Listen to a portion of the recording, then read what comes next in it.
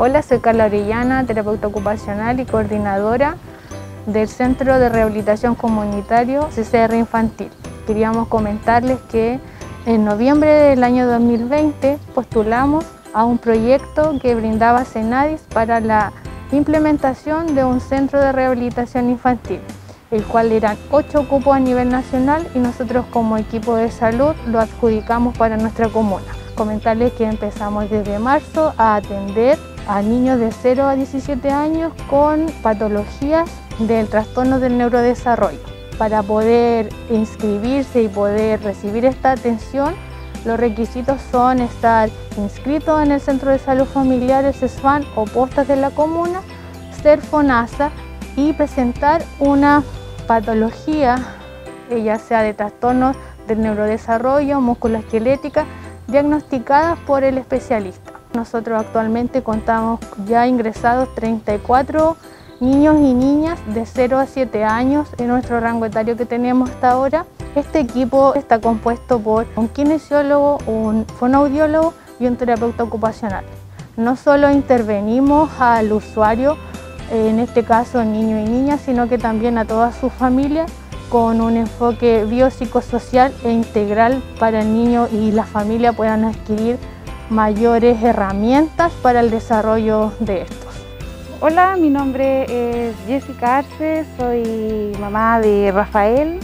Nosotros llevamos desde marzo trabajando acá con las tías del CCR infantil. Estoy muy agradecida porque de verdad que ha sido una ayuda inmensa. Cuando llegamos acá Rafael tenía eh, varios retrasos, él no modulaba bien, no hablaba, pero las tías, la tía Cata, la tía Carla, te van orientando qué es lo que tiene que hacer con, los niños. Es una ayuda enorme porque y no, no, tendría los medios como para darle tanto apoyo a Rafael si no tuviera el, beneficio de que estoy obteniendo en estos momentos por, por acá por, el CEFAM. Así que estoy súper agradecida, espero seguir harto tiempo aquí y, si ver, ver más avance en él, porque tenemos harto que trabajar todavía con, como me dicen las tías, paso a paso. se va a lograr, pero no, hay que estar tranquilos que él lo va a poder hacer de todo, como, cualquier otro niño. Mi nombre es María Contreras Núñez, soy mamá de un niño eh, con discapacidad. Él nació con hipotonía. Estoy muy feliz de que acá en San Vicente eh, esté el CCR. Es una ayuda para muchas madres que yo creo que lo necesitan demasiado Em, es muy difícil tener niños con discapacidad y acá en San Vicente no se encuentra eso y esto es lo mejor que nos pudo pasar como san vicentano. Ojalá que lleguen muchas madres más, los especialistas son un amor, nada que decir, apoyándonos en cualquier momento, uno los necesita y ellos están. Yo feliz, mi hijo ha avanzado mucho. Los ejercicios van súper bien, la fonoaudióloga también, el kinesiólogo, la terapeuta súper bien. Todos van de la mano, así que Nair va avanzando bien, gracias a Dios. Hola, eh, mi nombre es María, María Vidal, soy la mamá de Agustín Pessoa. Bueno, él se atiende en el CCR, que pertenece al CESFAN, y lo trata la tía Carla con la tía Cata, que es la terapeuta ocupacional y la fonoaudióloga, y ha sido un gran aporte para Agustín. Él igual trabaja mucho con ellas y bueno, la tía Carla sobre todo lo conoce desde mucho antes, porque el Agustín desde chiquitito ha ido a CESFAM. Entonces ha sido un gran aporte para el diagnóstico que él presenta. Ya ha evolucionado bastante. Buenas tardes, eh, mi nombre es Viviana Reyes, eh, soy de acá de San Vicente. Tengo un hijo de 11 meses con síndrome de Down.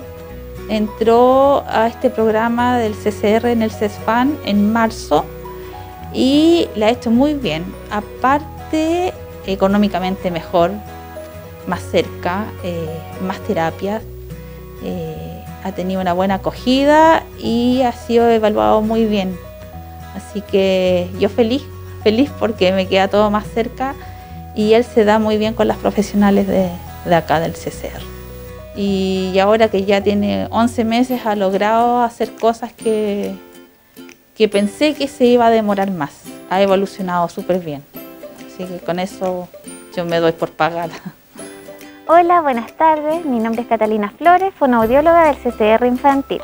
Actualmente estamos interviniendo a 34 niños con diversas patologías de base y también condiciones. Estas deben ser permanentes. Desde el área de fonoaudiología intervengo principalmente lo que es la comunicación y el proceso de deglución en aquellos niños que presenten dificultades. Son tres terapias semanales con los tres especialistas sin embargo, siempre es importante para poder generalizar este aprendizaje, educar a sus cuidadores. Y como último es muy importante eh, destacar el rol de la familia en la intervención. Es el foco fundamental, proceso de rehabilitación. Destacar la actitud positiva que han tenido los papitos en este proceso, porque gracias a ellos hemos logrado todos los objetivos que nos hemos establecido. Aún nos quedan más, sin embargo, gracias a ello vamos muy bien de la mano.